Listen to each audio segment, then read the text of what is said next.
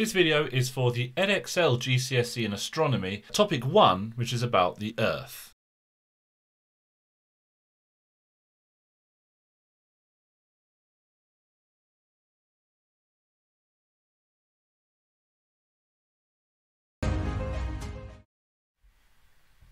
So these slides I prepared for my students in year 7 and 8 who I teach GCSE astronomy to.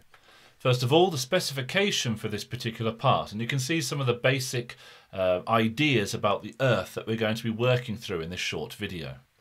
The shape of the Earth is not perfectly spherical, neither is it flat. It is a what we call an oblate spheroid. It's spheroid, in other words, it's like a sphere but not quite. Oblate just means it's squashed a little bit. The reason why it's squashed a little bit is because as the Earth rotates, centrifugal forces cause it to bulge out a little bit. Now I know what you're thinking, centrifugal forces don't exist. Well, they are fictitious forces, yes. That means in an inertial reference frame, you can't measure them. They don't exist, but they do exist in a non-inertial reference frame, such as an accelerating reference frame. And the surface of the Earth is accelerating because it's moving in a circle. And so you can measure a centrifugal force on the surface of the Earth. And that means that the matter is pushed outwards if you look at the picture from the accelerating reference frame from the surface of the Earth. You can see from that little sketch there the um, the level of eccentricity, the, the level of squashedness of the Earth's shape. It's not very squashed at all, really.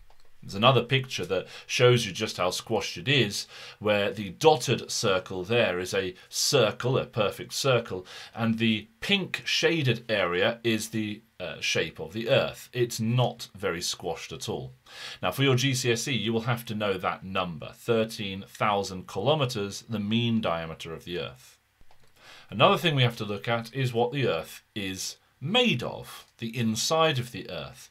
And so you can see in this slide, we've split open the Earth into the different layers, the crust, the mantle. Then we get towards the core, which is separated into inner core and outer core. And the crust really is thin. Uh, we're talking five or five or ten kilometers thick for um, the areas underneath the oceans, a little bit thicker for the areas um, where the land is, the continental areas, but still, in general, it is very, very thin compared to the diameter of the Earth. The crust is split into plates, tectonic plates. The fault lines that connect those plates, those fault lines between those plates, are where the crust is very, very thin so thin, in fact, that the uh, magma from the mantle beneath can move up through the crust. And these plates float around on the mantle. And the mantle itself isn't liquid, as is often thought. It's mostly solid, but it sort of behaves like a very thick, a very viscous liquid over very long time scales.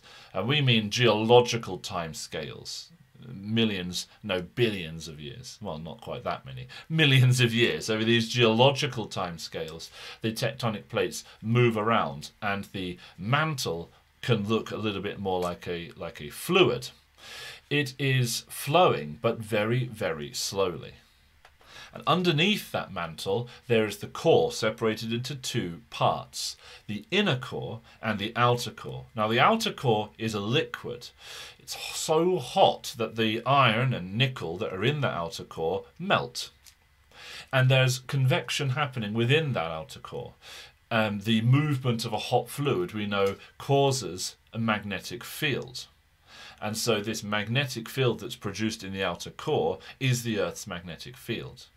Now, the inner core, right down in the middle, that's where the solid, the iron nickel becomes solid, and it becomes solid because there's so much pressure in that inner core. And there's so much pressure because of the weight of all of the outer core and the mantle and the crust and then all the atmosphere pushing down on it. So even though it is incredibly hot, uh, as it says there, roughly the same temperature as the surface of the sun, it is not liquid even though iron and nickel melt easily at that temperature, it's not a liquid because of that huge pressure. Now, we have really only been able to dig into the crust.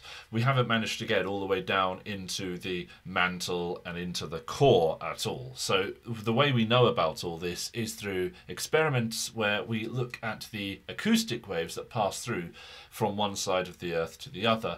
And we analyze those acoustic waves to try to figure out what the inside of the Earth is made out of. Now, to refer to points on the Earth's surface, we use a coordinate system of latitude and longitude. Latitude is how far north and south you are. Longitude is how far east and west you are. And I don't know how you're going to remember that. I'm sure you can come up with some clever mnemonic to remember that. Um, but the, the difficulty is that the latitude lines that tell you how far north and south you are are drawn around the Earth this way. And the longitude lines, they're all the same length, those those lines go th uh, through the north and south pole. Maybe that's one mnemonic to remember it. The longitude lines are all the same length, and long, length, longitude, length. Maybe that's the easiest way to remember it. And so a latitude is given as an angle. If you are on the equator, your latitude is zero degrees.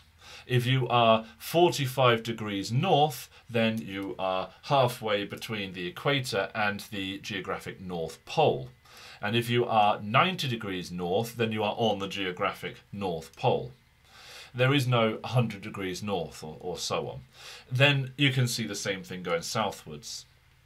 Longitude can either be given as a time or it can be given as an angle. And here we're using an angle. So we have uh, zero degrees starting from Greenwich. That's just where we started from because when this was first put forward, London was the cultural centre of the world, or so the British Empire thought. Um, and so we have uh, going eastwards, increasing in angle, and going westwards, uh, it, well, either decreasing angle, say increasing angle westwards. So we could say we are, I don't know, 20 degrees east or 30 degrees west.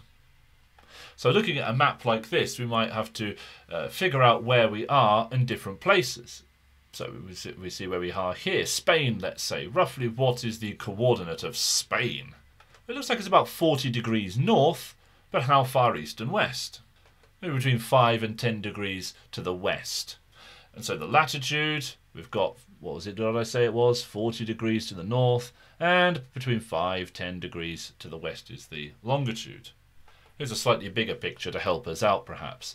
So let's take Iceland, for example. So we are 60, hmm, difficult to see, but a little bit more than 60 degrees to, well, near enough 65 degrees to the north.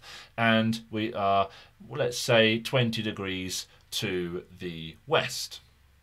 Now, certain lines of latitude have a special name, such as the Tropic of Cancer and the Tropic of Capricorn. The Tropic of Cancer is about 23 degrees north, and the Tropic of Capricorn is about 23 degrees south. And the region between these two, at some point in the year, the sun will be directly overhead. Anywhere outside the Tropic of Cancer or the Tropic of Capricorn, this region between, which we call the tropics, the sun's never directly overhead. Then, in terms of longitude lines, there's a special longitude line called the prime meridian, which used to be called the Greenwich meridian because it passes through Greenwich. right at the top of the Earth, the northmost point on the Earth, we've got the North Pole, and at the bottom we've got the South Pole. But what do we mean by that? Well, there are different North and South poles. And so labelled here, you can see pole labelled A. This pole moving through the Earth labelled A would be the axis of rotation. And so A1 would be the geographic North Pole, and A2 would be the geographic South Pole. But you can see we also have some sort of magnetic field passing through this Earth, around this Earth. And our geographic, uh, sorry, our magnetic North Pole is represented by B1, this imaginary line B passing through this magnet. But the magnetic poles move over time magnetic south pole is B2. Interestingly, what we call the magnetic north pole in geography is in fact a magnetic south pole from physics point of view because the field lines go in towards that point and the field lines come out from the bottom so we call that a magnetic north pole even though in geography it would be referred to as a magnetic south pole. And so the Earth orbits the Sun like this, with the axis of rotation tilted about 23 degrees to the plane around the Sun that the Earth is orbiting. And that's what gives rise to those tropics, the Tropic of Cancer, the Tropic of Capricorn being about 23 degrees. So when the sun is directly over the Tropic of Cancer, um, then that's when we're at one extreme end of the orbit. And when the sun is directly over the Tropic of Capricorn, that's when we're on the other extreme end of the orbit. Now on this picture here, you can see some of the important points on the Earth labelled.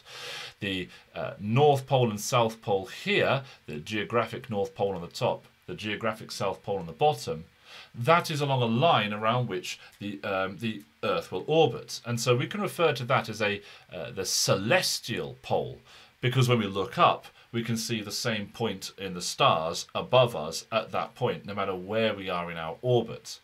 Uh, and the same thing with the bottom, the celestial south pole. The stars that you look at um, when you're stood at the celestial south pole at the at the geographic south pole the celestial sphere the stars uh, are all the same just rotating around. Now the earth rotates in an orbit as i showed you before that looks a bit like this. That orbit where the sun is in the center is in a plane which we refer to as the ecliptic. And so as we move around the ecliptic um, with the sun always above the sky in the ecliptic somewhere. And celestial equator here is if we stood on the geographic equator and looked up, what we would see in the sky. A line across the sky that is always above some point on the geographic equator is called the celestial equator. So the celestial poles, the celestial equator, all refer to what it looks like when you stood on the, uh, the geographic coordinates looking up. And the ecliptic is that imaginary line, that imaginary plane in which the Earth orbits. The Earth's atmosphere absorbs radiation. It absorbs electromagnetic radiation from the Sun, from other stars, and from other sources and the amount of radiation that is absorbed can be shown on a graph like this at the top. So opacity, 100% means all of the radiation is absorbed. Visible light is indicated here with this lovely rainbow spectrum, and most of the visible light is able to pass through the atmosphere. That's why it's visible to us. We evolved to be most sensitive to those colours because those colours are able to reach us on Earth.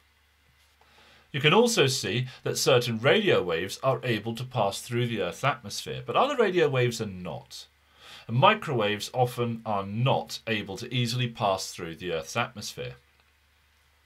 We also have a big black spot over here with gamma rays and X-rays and ultraviolet. Very little of it actually passes through the Earth's atmosphere. So if we want to detect X-rays, then we need a special X-ray telescope that we put in orbit above the atmosphere so that the X-rays can be detected. If we had an X-ray telescope on Earth, then most of the X-rays, if not all of the X-rays, would be absorbed by the Earth's atmosphere, and so it would be pointless. I wouldn't worry too much about the equations here. The point of this is to show that white light from the sun, the blue light is scattered most. And that's why the sky appears to be blue. We call it Rayleigh scattering. What that means is there's less blue light that can be observed along this line where the sun is. And that's one of the reasons why when the sun is very low in the sky, the sky around it starts to look a bit red. It's because the blue light has been scattered off in other directions, so there's less blue light reaching us. And you can see this scatter if you're high enough, where the sky has this sort of blue haze to it. That's because of blue light that's being reflected off the surface of the Earth, then being scattered by that atmosphere does mean, of course, that if we look up at the celestial sphere and make observations of stars and indeed planets, some of the colours are going to be a bit distorted by our atmosphere. The atmosphere also affects our observations if there's a lot of light pollution. Scattering all sorts of other lights from particles in the air means it's difficult to observe stars. This picture here, the right hand side is exactly the same location as the left hand side, but there was a big blackout well, electrical lighting stopped working in the streets, and you could see this beautiful picture of the sky. Those stars are there in the left hand picture, but you can't see them because the light that's being scattered back from the dust in the air is brighter than the light that would be reaching our eyes from the stars. So we don't have that contrast to be able to uh, discern the stars from that picture. Now, contrast is an issue. If we don't have the contrast between the dark night sky and the star that we're looking at, you can't see the star. But over time, we get better and better at spotting these stars. Our vision becomes adapted to the dark, becomes more sensitive to fainter and fainter light. And it's referred to as dark adapted vision. Our cones, not very good at looking at very poor contrast images. Very good at picking out colours, that's what they're for, but um, when we try to look at the fine detail of uh, constellation or something, it can be very difficult to spot the stars. The other thing is the cones all tend to be focused exactly where we're looking in our eye, and the rods tend to be around the outside more. And that means that sometimes when you're looking at a particular star, you can't see it. But if you look slightly to one side of where that star should be, all of a sudden you can see it in your peripheral vision. And so averted vision and dark adapted vision, leaving your eyes to become dark adapted, more sensitive to lower intensities of light, uh, mean that you can observe far more if you wait until it's very, very dark and you don't uh, look at anything bright for about half an hour. The one way you can preserve your dark adapted vision when you're out in the field making observations is to use a red light source because that preserves your dark adapted vision in a way that blue and red, uh, sorry, blue, green, white light sources don't. If you've got lovely dark adapted vision and then someone shines a torch in your eye, you're going to have to wait half an hour again before you can see the same stars that you could see before. And stars aren't the only thing that uh, we can see through the atmosphere. But the atmosphere affects how things appear. So in this rather crude cartoon here, you can see some of these things are twinkling and other things do not appear to be twinkling. And the things that aren't twinkling aren't twinkling because their solid angle in the sky is large enough, their angular size in the sky is large enough that the light that from them can reach our eye without being distorted too much in the path. Now the stars are so small, they're angular, they're not small, but the angular size of the stars is so small because of how far away they are, that as that light passes through the atmosphere, turbulence in the atmosphere, normal thermal turbulence, causes the path the light traces to be slightly distorted, which means it enters your eye from slightly different positions, and that gives it the effect of looking like the star is twinkling. Whereas planets, because they're that little bit larger, their angular size in the sky is a little bit larger, any distortion from the edges of the planets you're not going to notice so much. So, so far we've talked about the shape of the Earth, you know the shape, and you know why it's that shape. We've used information, or we've got information that we can use in questions later on. We understand the Earth's structure, we've gone through that. We understand the coordinate system we use to refer to points on the surface of the Earth. We understand the different areas within the Earth, the Arctic Circle, where sometimes you never see the sunrise, the Antarctic Circle, where sometimes you never see the sunrise, the Prime Meridian, North Pole, South Pole, those tropics, and the equator, that line that is around the edge of the Earth, exactly halfway between the North and South Pole. And then finally, we looked at the Earth's atmosphere and how it affects observations of the celestial sphere, how observations of the stars and the planets are affected by the Earth's atmosphere. And so that is everything that we needed to know for that first topic. In the next video, we'll be looking at the lunar disk. So make sure you uh, look for that video, tune in, and enjoy.